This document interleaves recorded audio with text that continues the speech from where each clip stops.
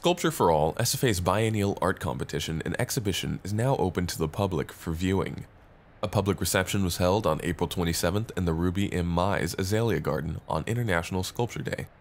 Sculpture for All accepts new pieces of art from around the nation to exhibit within the gardens every other year. One of the main goals of Sculpture for All exhibitions is to expose faculty, staff, and students to art they may not have otherwise seen, and also to bring national recognition to SFA. These sculptures can be found nestled throughout the SFA Mast Arboretum and Ruby M. Mize Azalea Garden.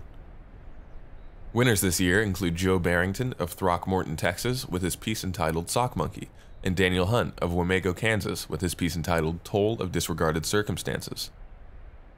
Juror of the competition was Robbie Barber, Associate Professor of Art at Baylor University.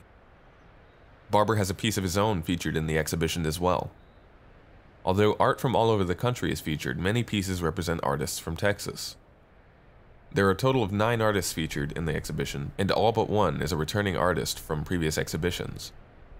The only new artist in this year's Sculpture for All is Michelle O'Michael from Houston. This has been the third Sculpture for All exhibition, with the first one being held in 2014. With the spring season now in full swing, now is a better time than any to check out the all-new sculptures on display in the beautiful SFA Gardens. East Texas Explorer, this is Samuel Johnson.